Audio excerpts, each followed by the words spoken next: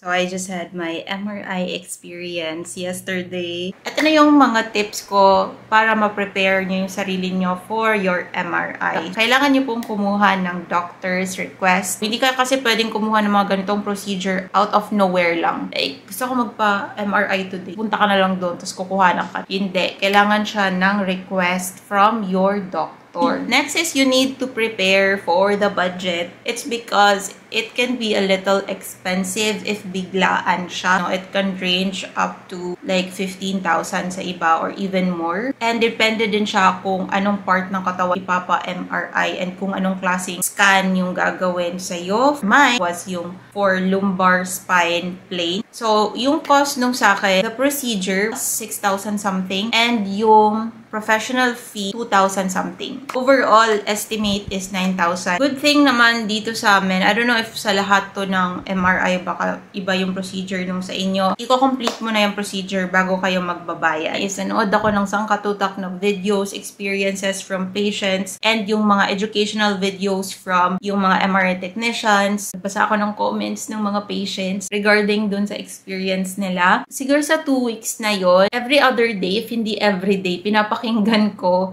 yung tunog ng MRI machine para hindi ako masyado matakot pagdating na sa the day of the event. So, kung ano yung tunog, ilalagay ko na lang dito yung video and ganun talaga yung tunog niya. Yan lang yung maririnig ninyo. You need to go there earlier. Hindi yung tipong 9 a.m. yung sked mo tapos 9 kakarating mo pa lang dun sa clinic or dun sa hospital. Isa ding tip ko would be to communicate well with your technician, with your doctors, lahat ng mga kailangan mong sabihin sa kanila kanila, meron kang mga implants or may mga tattoo ka, sabihin mo na sa kanila. Kasi nung nagpa-MRI ako guys, merong nakalagay dun sa checklist na tattoo. So if meron kayong mga tattoo, depende siya dun daw sa tattoo ink na ginamit kasi meron daw ibang tattoo na meron siyang metallic ingredient. So, hindi siya ata pwede. Iinit daw siya. Tanungin nyo na lang sila. Basta, take note nyo lang yun. Bawal yung mga botones, mga zipper from metal. So, mas better if like garterized lang or plain cotton lang. Or di kaya, mas better na na mag-change na lang kayo to a lab gown. Tinanggal ko lang lahat And hindi na rin ako nag-silicone bra, guys, just to be safe. Pero wala namang minention about silicone. So, pwede naman siguro yun. Pero, tinanggal ko lang talaga lahat. Para lang talaga, wala nang iba pang